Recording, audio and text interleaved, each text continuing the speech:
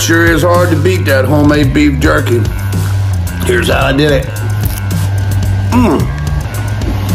Beef eye round roast and take off all the excess fat that you can.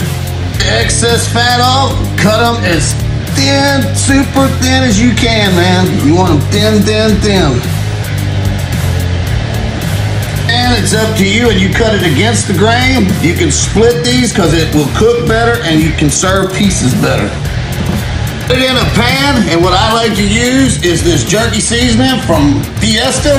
Good stuff. And you're gonna put it on there real generously, a lot. And then mix it up with your hands. And then season it again. You're letting it sit for about, I don't know, 20, 30 minutes.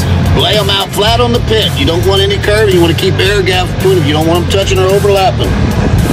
This is all the fire I'm gonna need, and I'll be doing this for the next 12 hours.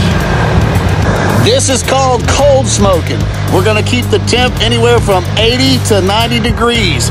Probably because it's warmer this time of the year, it might get up to 100, but we're gonna keep it as low as we can. We don't wanna get over 90, actually. Right on. Yeah, man. The secret to keeping your jerky from getting bad bacteria or being bad cold smoking is you got to have air. Keep that completely open and then keep your exhaust completely open. You want oxygen flowing through at all times.